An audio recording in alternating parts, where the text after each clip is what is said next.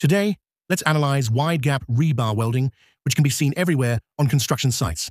So, how do we deal with this kind of wide gap? Let's break it down in detail. On site, you'll often encounter this situation. Look closely.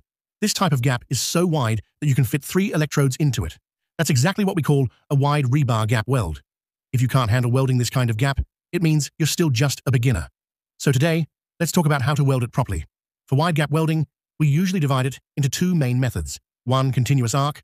Welding, use a continuous arc for the operation. This method gives higher speed and efficiency. Two, intermittent arc slash spot. Welding for extra wide gaps. Use a stop-and-go spot welding technique. Weld from bottom to top during operation.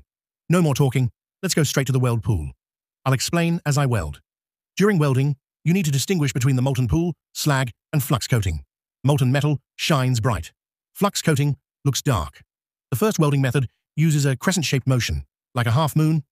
Intentionally carry the arc slightly to both sides. When the temperature gets too high, adjust accordingly.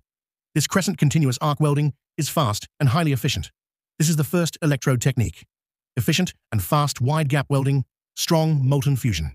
If you're watching up to here, tap the heart button to support the host. The first method is continuous arc welding, using the crescent weaving motion for operation. The second method is intermittent arc spot welding. In spot welding, the main pattern is also the crescent motion.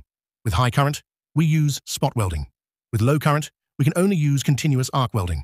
For spot welding, strike the arc on the left side and move toward the right.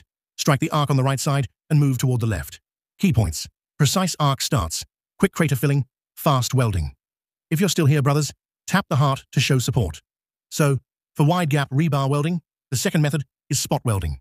After welding, let's check the final weld bead. Spot welding effectively controls overheating. And when you look at the finished weld like this, who could say you're not a skilled welder? If you've learned something, double tap and follow for more. Thanks for the support.